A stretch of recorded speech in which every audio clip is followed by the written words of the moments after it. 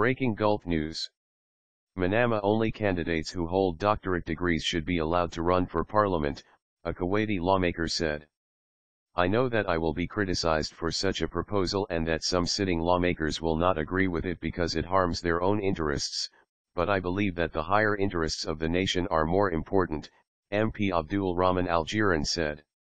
The advanced degree will allow lawmakers to submit draft laws in a correct and scientific way, the MP, who holds a PhD, said in a statement explaining his reasons for changing the elections laws. Al-Jiran said that he was also planning to amend the constitution in a bid to update its articles.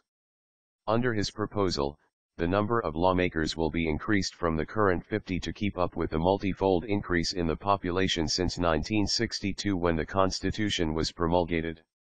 According to the Kuwaiti constitution, the number of cabinet ministers should not exceed a third of the parliament, or a maximum of 16 including the prime minister.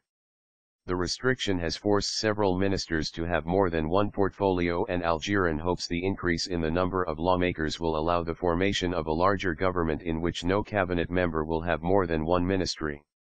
The proposal also calls for the appointment of independent ministers for development, higher education, and youth.